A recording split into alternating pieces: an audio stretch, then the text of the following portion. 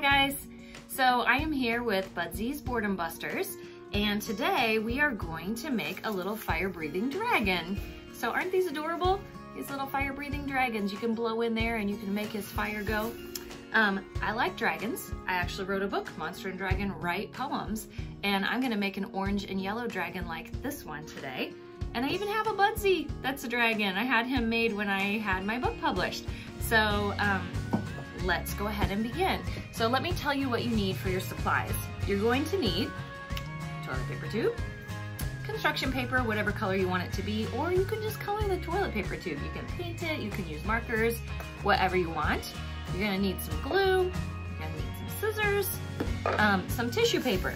So if your parents have um, some tissue paper in the gift closet or wherever you keep your gift wrapping materials, you'll need fire colors so that you can make the fire. So red, orange, yellow, any of those. You don't have to use all three. I just did because I wanted to.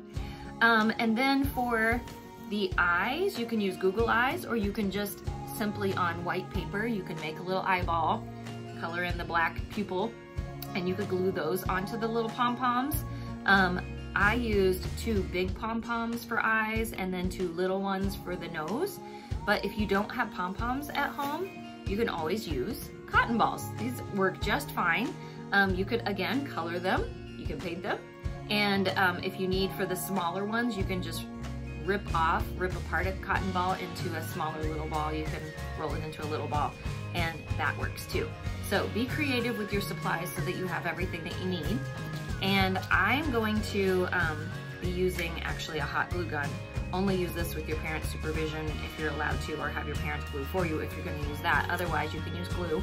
I just need it to dry quickly so that I can show you what I'm doing as I'm doing it. So um, I'm gonna start with, I took my construction paper and I already laid down my tube on there and cut it to fit the tube so that when I wrap it around, I know that, know that it's going to exactly fit.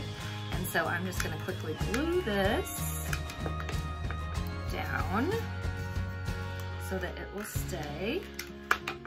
And so now I have my little yellow tube instead of white. And my next step is going to be, I'm gonna take my pom-poms that I had and I found some cool green Google eyes that I'm going to glue onto each one. So I'm putting the glue on there and then I'm sticking the eyeball on there. Sorry, I dropped my eyeball right there and I'm gonna do the other one. And then I'm gonna take the eyeballs and glue them to the top of the tube. So you can see here, like on this one, I put the eyeballs on the pom-pom and the pom-pom on the tube. So I usually make sure the seam side is down so that it doesn't show because it doesn't look as nice. And so I just put some glue on the top of my tube and I'm gonna put each of these guys on here like so. He's already looking pretty cute. You can adjust them, okay? And then I have my little tiny pom-poms that are gonna be his snout.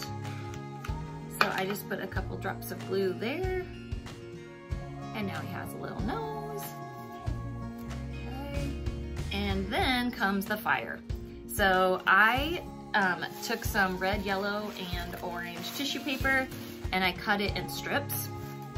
And so I have all of those gathered right here, my strips. Um, I folded them over so that they would stay nicely, so that when I go to glue them in, I can just kind of glue them in like this. So I'm putting some glue inside my tube, and then I'm just reaching in with my tissue paper and sticking it in there. That cute? And so I just use yellow paper and orange pom-poms, and I have green Google eyes but you can be really creative with your colors. I used a red and purple here. And on this one, I used green, all greens. And then you can blow through it and you can make the fire go. So anyway, just a fun little thing for you to try if you would like to make your own fire breathing dragon out of some household items. I hope you had some fun and if you enjoyed this, I hope that you will um, post in the comments a picture of your dragon that you created. Thanks, I'll see you next time.